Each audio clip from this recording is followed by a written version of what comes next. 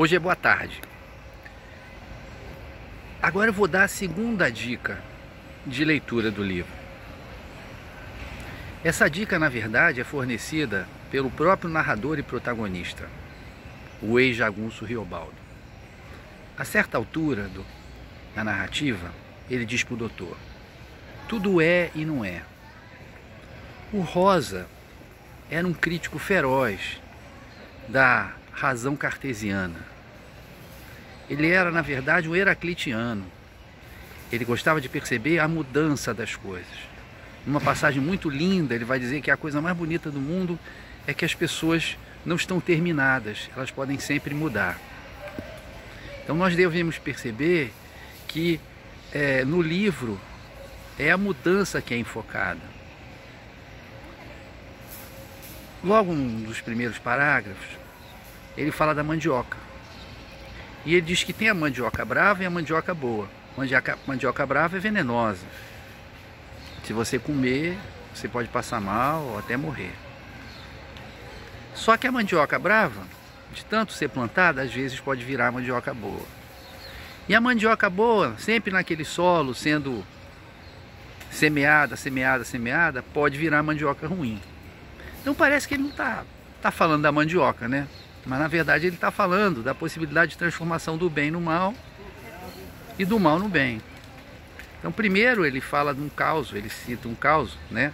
Só que sem avisar o leitor, ele fala da mandioca e tal, dois parágrafos depois, ele cita é, o caos do Aleixo, né?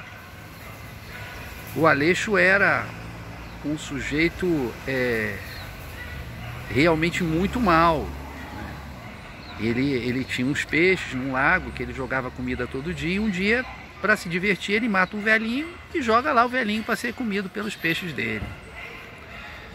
E talvez por conta dessa maldade, os filhos dele pegam uma doença nos olhos e ficam todos cegos. E aí o Aleixo vira, né? A gente vê por aí, o Aleixo vira um fanático religioso. E aí só fala em Deus, só reza o tempo todo. Embora o Riobaldo questione, poxa, quer dizer, para ele ficar bom precisava acontecer isso com, com os filhos. Aí o compadre Quelemem, que é espírita, dá uma outra explicação, né? A gente já vê aí a mandioca brava virar mandioca boa. E depois ele dá um outro exemplo, do Pedro Pindó. Que, ao contrário do Aleixo, era um homem bom. Mas tinha um filho, o Valtei, que tinha o diabo no corpo.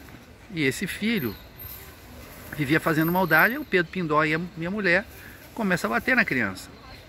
A bater, bater, bater sistematicamente. Primeiro a bater para castigar, mas depois a bater com gosto. Até chamando as pessoas para verem, se regozijando na dor do menino. Aí a gente já tem um exemplo de, de como a mandioca boa pode virar mandioca brava. Então, cabe ao leitor fazer esse trabalho, perceber que tudo que ele fala, tudo que o, que o Rosa escreve, tudo que ele coloca na boca do Riobaldo, é por um propósito, né? Vai ser em algum momento costurado, vai ser em algum momento relacionado. O leitor tem que estar tá pensando o tempo todo. E que tem que estar tá usando essa máxima. Tudo é e não é. A gente tem que estar tá pensando no outro lado das coisas. Né? Se você fizer isso lendo o romance, você com certeza vai entender muito melhor o Grande Sertão Veredas. Então essa é a minha segunda dica de leitura. Tudo é e não é, tá?